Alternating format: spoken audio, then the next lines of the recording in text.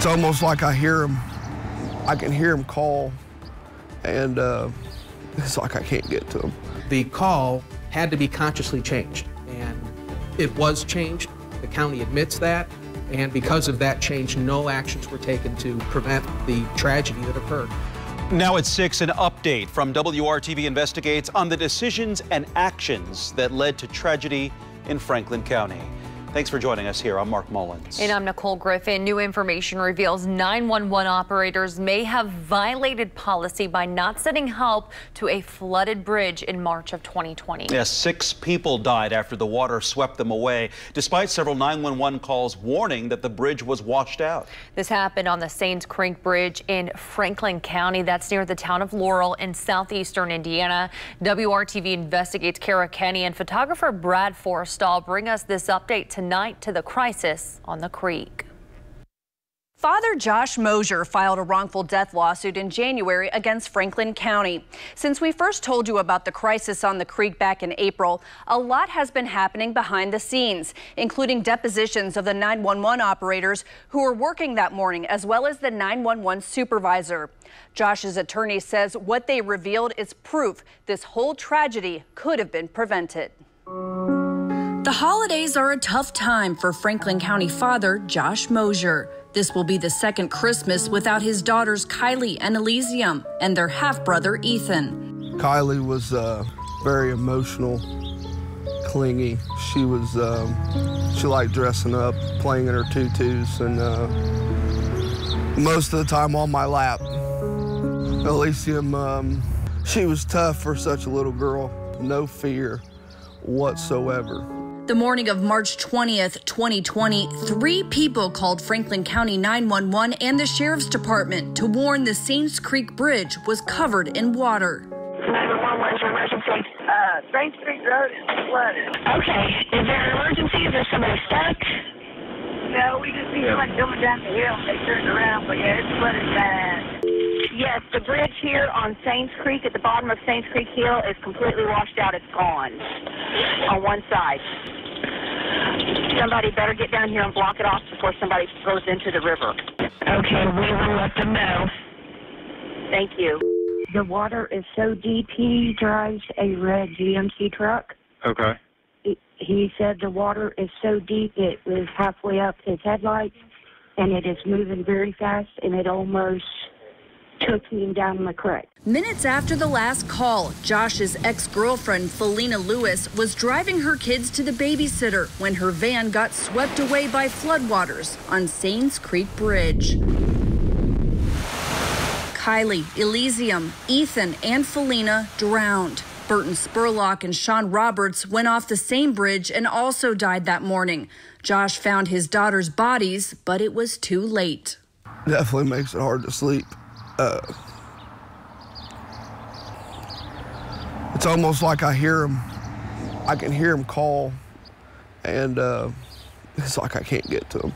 Josh filed a wrongful death lawsuit against Franklin County back in January. New information reveals the crisis on the creek could have been prevented. Through a records request, WRTV Investigates obtained a copy of the Policy and Procedure Manual, which says when Franklin County Dispatch receives a call of any type of obstruction or failure to a Franklin County road, like trees down, flooded water, the appropriate county highway supervisor will be notified. We're down the record. We also obtained this video deposition, which is part of the wrongful death lawsuit. 911 Supervisor John Hundley testified about the county's policy. You get a call that a, a, a bridge has washed out. Yes. Um, are you calling county highway? Yes. Are you calling a sheriff's deputy? Yes. If there's one available, yes. And is that the policy of the department? Yes. Hundley testified a dispatch trainee and her supervisor both heard this 418 call about 40 minutes before Felina's van went into the creek. Somebody better get down here and block it off before somebody goes into the river. Okay, we will let them know. So at that point in time, at 418, you have two dispatchers that know the Sanes Creek Bridge is washed out, don't you? Yes. But they did not let anyone know, court documents allege. Instead, Hundley testified someone working in the call center consciously converted the 418 call to an I call. That means information only. And according to the county's training manual, an I call does not have to be assigned or cleared by an officer. Was that an aha moment? It was for us. Josh Mosier's attorney, Tim Devereaux. What we didn't realize until we got into these depositions is that the call had to be consciously changed. And it was changed. The county admits that. And because of that change, no actions were taken to prevent the tragedy that occurred. A Franklin County chief deputy learned about this decision when he called dispatch the evening of March 20th to ask if anyone had reported the bridge was out. God help whoever didn't pass that on if it did. Uh huh. We, there was a, was a call at 418. It says advised that the bridge on Saints Creek is completely washed away. What did they do with it? It looks like it was made an I call. Are you kidding me? Devereaux believes six people would still be alive today had the 911 operators followed the county's policy. It's a hard pill to swallow. I was trying to think, how am I going to tell Josh? I mean, it's going to be, it's difficult to have to tell him that your worst fears have been confirmed. This was preventable. You really feel for him, don't you? Yep. You're a father as well? Yep. Sorry? Yeah. Josh Mosier and his attorneys allege Franklin County was negligent by failing to warn the traveling public about the bridge. They also filed an amended lawsuit on October 15th, naming Copperhead Excavating out of Laurel, Indiana, as a defendant. They claim the company contracted with Franklin County to perform shoring services around the Saints Creek Bridge.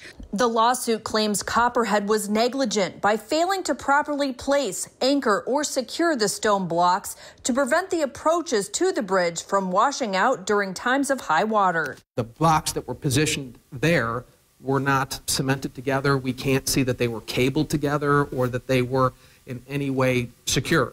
So that's one of the things we're doing in our lawsuit is we want to dig in to see how that work was done, how it should have been done, and the extent that this incident could have been avoided had this been done properly. Copperhead's attorney declined to comment to WRTV, but in its response to the court, Copperhead denies it was negligent and blames an act of God. Copperhead Excavating also says the work completed in 2017 was performed in a workmanlike manner and points out they were not involved in the design or the construction of the bridge itself. In a court filing, Franklin County denies it was negligent and also denies Copperhead was negligent. Franklin County claims as a government agency they're immune from liability in this case. They've asked the court for more time. Josh Mosier's attorneys are fighting any delays we have families that are seeking closure. You know, they would like to see this case resolved. Oh, ladies. Josh Mosier tries to stay busy with his work as a cattle farmer. He finds it difficult to accept that his daughters, as well as Felina and Ethan, are gone, knowing the policy required dispatchers to contact a county highway supervisor. There's a better way to handle a 911 call. That's what they're there for. It's an emergency phone call. This wasn't an accident. This was something that could have been prevented. The 911 operators are not named as defendants in the lawsuit. The county fired one of the dispatchers, but a dispatch trainee mentioned in the lawsuit is still working there. Working for you, Kara Kenny, WRTV. Josh Mosier's wrongful death lawsuit is set for a court hearing on January 6th. We have reached out to Franklin County's attorney for a response to the latest allegations involving violation of policy, and we are still waiting to hear back.